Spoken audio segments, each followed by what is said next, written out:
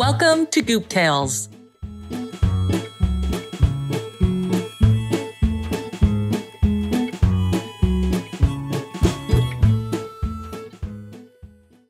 Copycata and Mimicfina?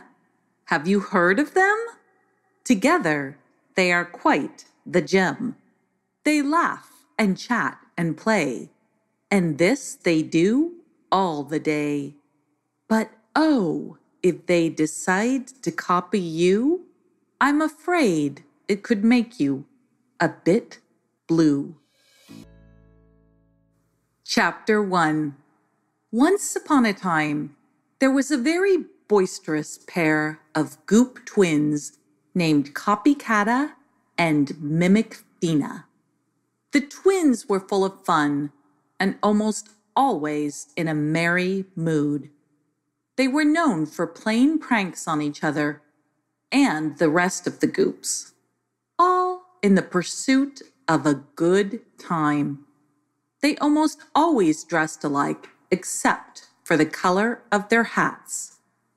Mimicfina insisted that Copycata wear a purple hat instead of a blue one. She didn't want to be copied on everything. The twins could often make the other goops laugh until they fell down, barely able to breathe. Once they staged a puppet show and invited the Screener twins, Screener and Screenalina, the Mads, Mad Adam and Madam, Won'ty and Why Wynotty, and Touch 'em and Take 'em. It was a puppet show for twins. The puppet show had two puppets. One was voiced by Mimicfina, and it was a puppet of Cootie Counto. The other puppet was voiced by Copycata, and it was a puppet of Excitable. The show began with a flourish of dramatic music, and then Cootie Counto showed up and began to walk along while singing. My name is Cootie Counto. I am kind and oh so fun.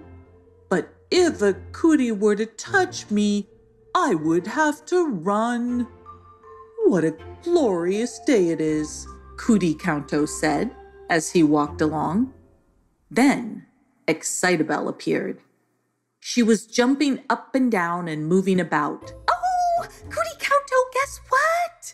She called out. What? said Cootie Counto. Oh, oh, I just can't believe it. I was just visiting a lake and it was so funny. I saw a lot of geese and they got so upset if you come too close.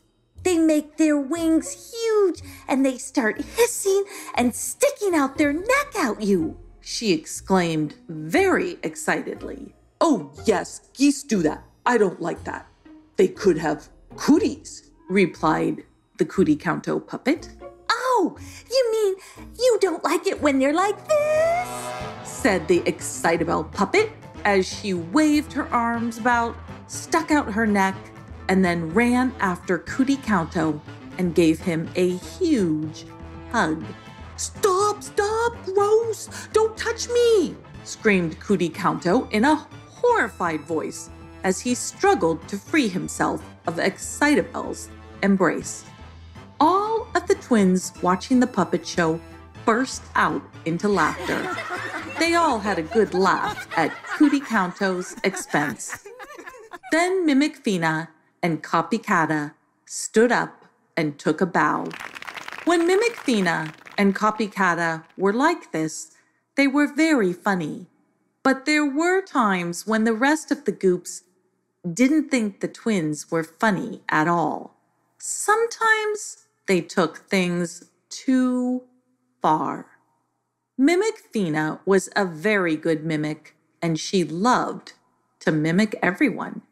She even carried around a little notebook that she used to take notes if she saw someone or something that she wanted to mimic.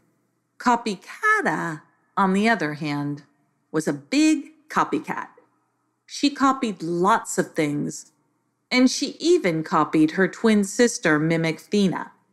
Copycata carried around a Polaroid camera so that she could snap photos of the things she wanted to copy. She loved how Very Vain put sparkling silver strands in her hair, so she took a photo of it. She even snuck a photo of Know It All's homework so she could copy it. She knew that Know It All was very smart and probably had all the correct answers. On a very sunny spring day, Mimic Fina and Copycata met up with their friend Runner to go in search of a rare blue butterfly. It was said that if you could capture a blue butterfly in Goop World and then release it at midnight, that the moon would turn blue. Copycata, Mimic Fina, and Runner had tried many times to capture a blue butterfly, and they weren't successful. But they didn't give up. The twins liked to go butterfly hunting with Runner because he could run very fast and they felt he had the best chance of catching a butterfly. He would never, ever stop running. The three of them walked along through a sunny field and saw many gold and black butterflies flitting about, but they weren't interested in those butterflies. They spent the entire day running about the field and laughing while Mimic Fina entertained them. She even mimicked Miss Wigglebutt for them. Now, class, did you know that it's very dangerous to go butterfly hunting? These are wild insects, and they could attack at any moment. Both Runner and Copycata burst out laughing. Suddenly, their laughter was interrupted as a lone blue butterfly flitted by them. Look over there, whispered Mimicfina excitedly as she pointed to the blue butterfly who was moving along. Runner immediately hopped to his feet and began to chase the butterfly. Up and down the hills he went, coming so close, but never close enough. The butterfly always escaped him at the last moment until Runner finally tripped on his shoelaces and fell flat on his face. Mimic Fina and Copycata both burst out laughing, and then they began to imitate Runner. Catch me, catch me if you can. I'm a blue butterfly, called out Mimic Fina as she ran along, flapping her arms. Copycata chased after her and said, I will catch you. My name is Runner. Copycata chased Mimic Fina up a hill and grabbed her in fits of laughter. In doing so, she tripped over a rock that slid down the hill, leaving a large, gaping black hole in its place. Copycata fell into the hole, and as she did, she grabbed the edge of Mimic Fina's jumper, pulling them both down into the darkness.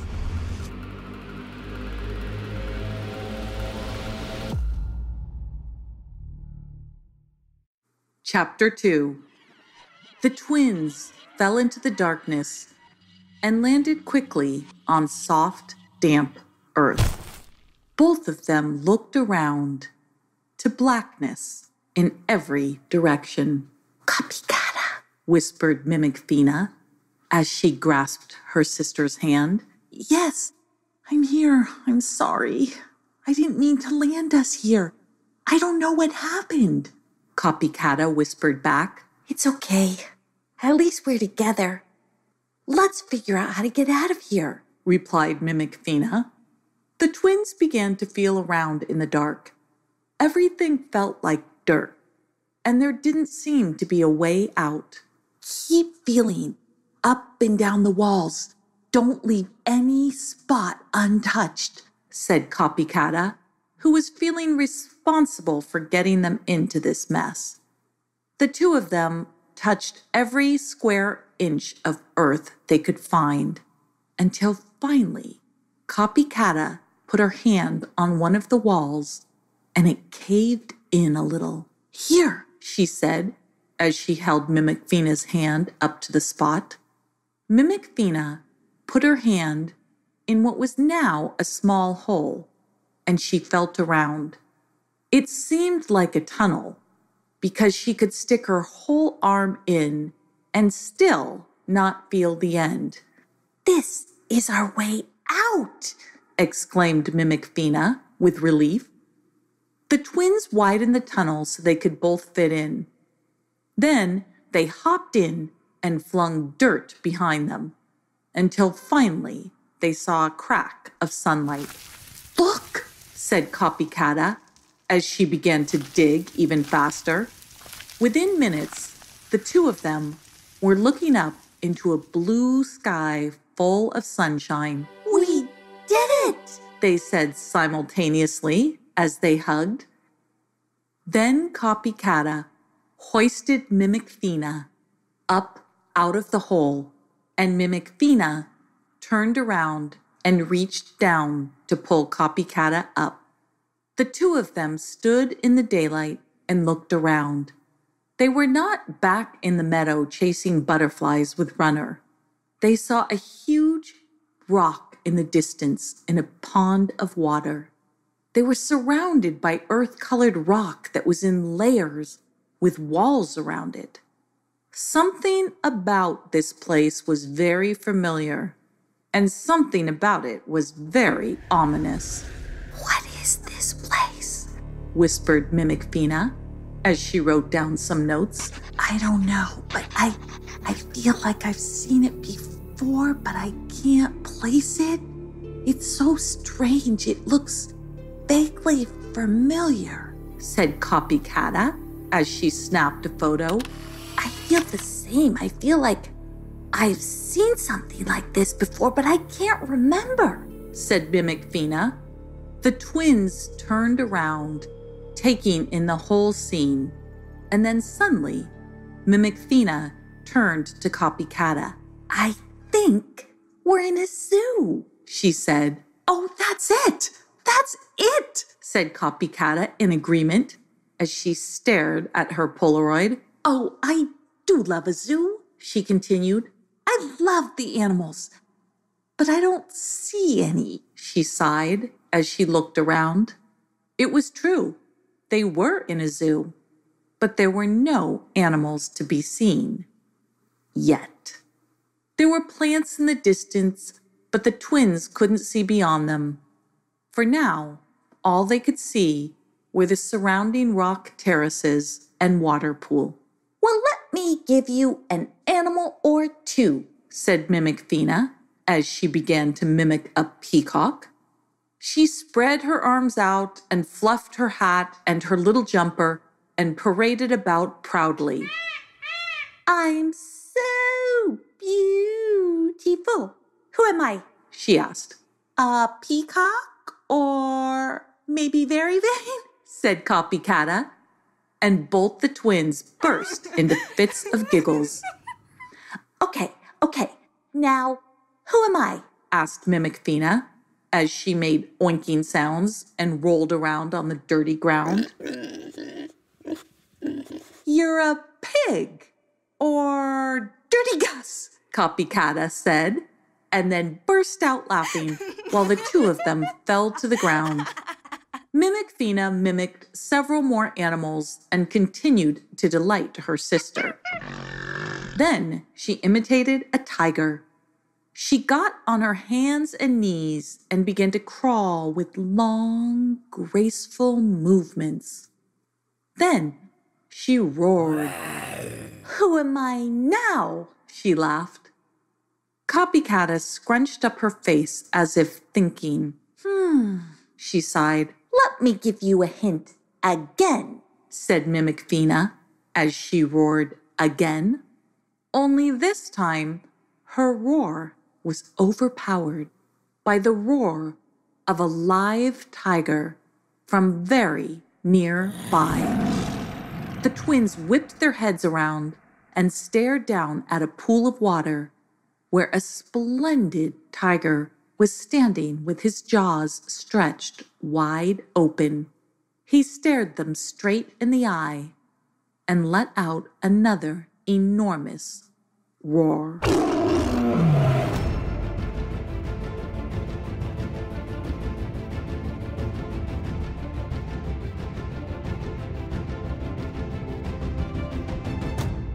Chapter 3 The twins stared at the tiger and then at each other in horror. Copycata held up her Polaroid and took a quick photo because she couldn't help herself. Let's get out of here! The twins screeched. Then Copycata grabbed Mimic Mimicfina's hand and pulled her into another water pool that was right behind them. They dove in without hesitation. Once underwater, the twins looked at each other. They didn't want to go back up to the surface, but they couldn't stay there either. Mimicfina looked around and spotted a small opening in the pool they were in. It was some sort of tunnel. She grabbed Copycata and pulled her towards the opening. The tiger's foot stepped into the pool just a few feet from the twins. With no time to waste, the twins squeezed into the tiny tunnel and kept moving.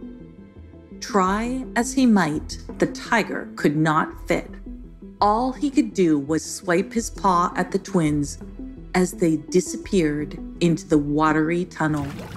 The twins squirmed and squished their way through the tunnel as their hearts beat loudly. Finally, they popped up and out of an opening and stuck their heads into what seemed to be a giant jungle. Look, said Copycata. Wow, where are we? And where is that tiger? asked Mimicfina as she peered back at the small hole that she had just emerged from half expecting to see a tiger paw pop out of it. But it did not. Where is that tiger? said a voice. Mimicfina stared at Copycata, a bit annoyed. Are you copying me? she asked. Are you copying me? said the voice. Mimicfina was ready to grow very irritated with her sister, but she noticed that Copycata wasn't even moving her mouth. So she said, Where is that big, fierce tiger. Where is that big, fierce tiger? Came the voice again. Then Mimicfina scrunched up her entire face and let out a gurring sound as she spoke. Who is that? She grunted. Who is that? replied the voice. Copycata burst out laughing. she was very entertained by Mimicfina getting a taste of her own medicine Someone was mimicking her very well. Stop laughing, growled Mimicfina. Stop laughing, stop laughing, came the voice again. At this point, Mimicfina felt she would explode with frustration. She held her finger to her mouth and indicated for Copycata to be quiet. Then she grabbed her hand and quietly started to walk around the jungle they were in. The twins turned a corner and looked up to see two macaw parrots sitting high on a tree branch, staring down at them with knowing looks. One had a vibrant yellow body with bright blue wings, and the other had a red upper body and head with green and blue wings. They were both spectacular. Mimicfina burst into a huge smile. She had heard about macaws, but she had never encountered one. Mimic Mimicfina had met her match. you got me, she burst out laughing. You got me, replied the yellow macaw. I think we're kindred spirits, said Mimic Mimicfina. Kindred spirits. Yes, kindred spirits, said the macaw. We know how to mimic and copy with the best of them, said Copycata. Mimic and copy, mimic and copy, said the red-headed parrot. Are we in a zoo? asked Mimic Mimicfina. Zoo, New York City Zoo. replied the parrots together. The twins smiled. Now they were really communicating with the macaws. New York City Zoo? How do we exit the zoo? We've already been chased by a tiger, asked Mimic Fina. Chased by a tiger, chased by a tiger, said the red headed macaw. Yes, we have a photo of him, and now we need to get out of here because who knows who else may come for us. How do we get out? Photo. Way out is way in, replied the two parrots in unison. We have to go back to the tiger? asked Copycata in a very hesitant voice. Photo. Back to tiger. Back to tiger. Photo. Back to tiger. Back to tiger, said the macaws. The twins looked at each other in a mixture of fear and bewilderment. These birds, I can't tell if they're copying us or helping us. It's annoying, said Copycata. Photo. Copy or helping. Copy or helping. Annoying. Annoying, said the macaws together. Copycata and Mimic Fina stared at each other in frustration. They both knew that this was how the other goops must feel when Copycata and Mimic Fina wouldn't stop mimicking and copying them. Copycata sighed, and then she said in a very confident voice, So, we must go back to the tiger in order to get out of here? Photo! Back to tiger! Photo! Back to tiger! said the macaws together. This time, they were annoyed.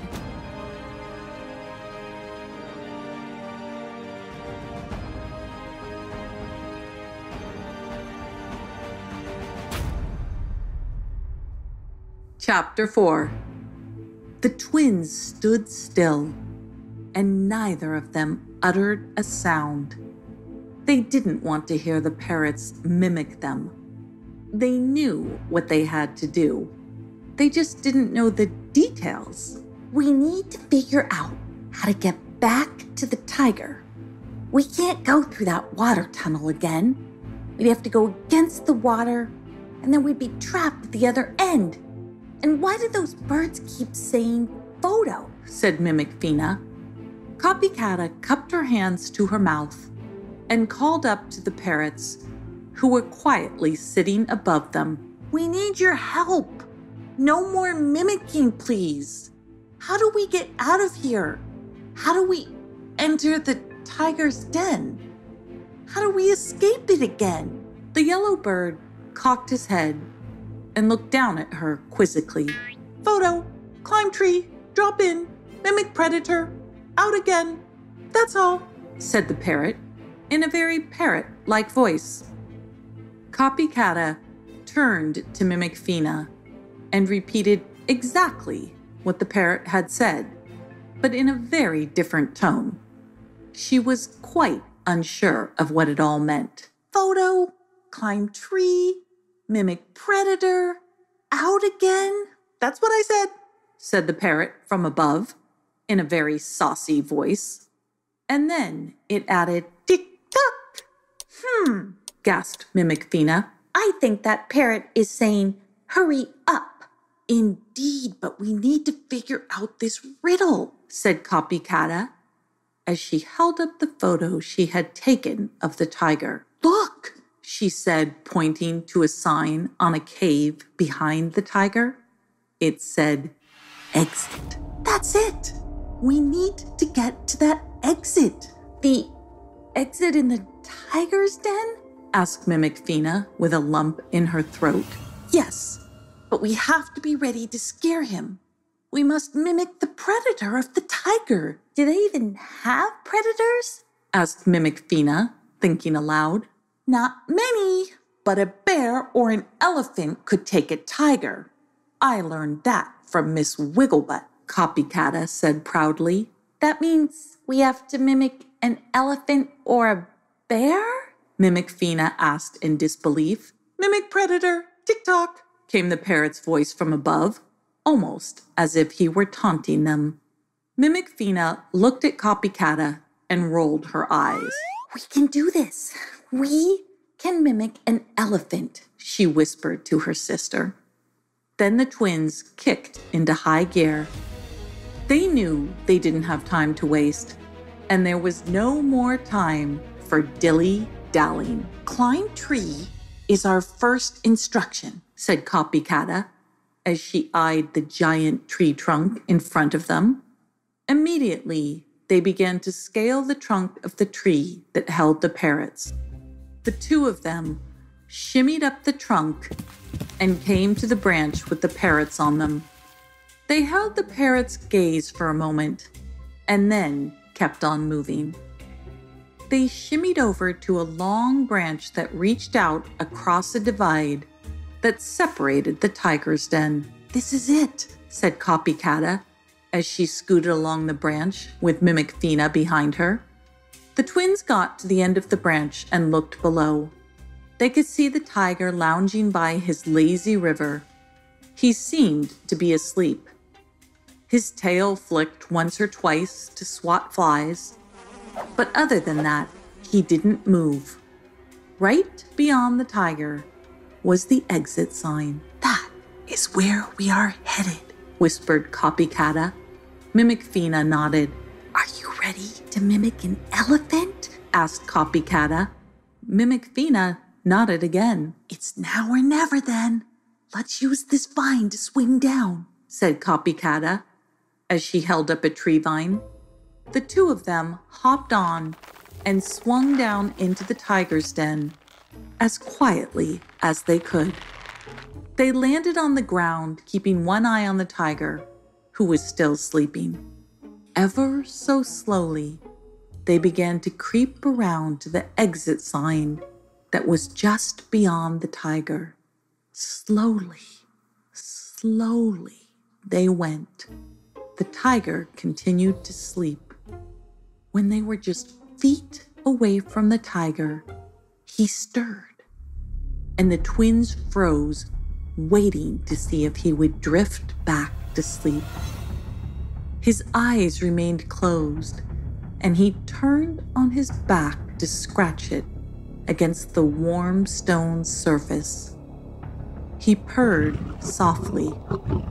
Then he lazily opened an eye, and just as he was about to close it, he caught sight of the twins.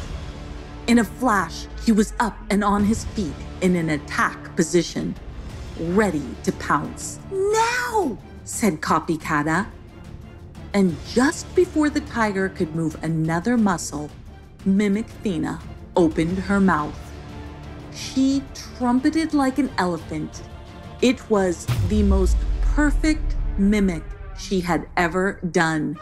Even Copycata was blown away and looked around for an elephant. The tiger was so startled, he too looked for an elephant. It was at that moment that Copycata grabbed Mimicfina's hand and made a mad dash for the exit. They ran into a deep, dark hole. Mimicfina took a quick look behind her as they ran further into the darkness, and she was sure she saw the golden eye of a tiger staring down the tunnel. They ran and ran in darkness until they saw a bright light from above and felt soft earth beneath their feet. Copycata climbed up into the light, reaching down to help Mimicfina. They emerged above ground to the exact spot they had fallen in. They watched as a blue butterfly flitted by. We did it, they said to each other. Let's go find Runner. We need to tell him everything, especially how I trumpeted like an elephant, said Mimic Mimicfina. Yes, let's, replied Copycata. The two of them set off to find Runner, but he was nowhere to be found. He was running through Rift Valley, Kenya. But that is a tale for another time. Hey there, it's Maria. Thanks for listening to Goop Tales. If you want to listen to another one, all you have to do is click on your screen and you can. And of course, don't forget to subscribe to Goop Tales, and you'll always be notified when there's a new one. You can tag us on social media at Goop Tales on either Facebook or Instagram. I'd love to hear your questions and comments. And you can also leave me a voicemail if you go to gooptales.com and use the little prompt in the sidebar. Okay, I will see you in the next Goop Tale.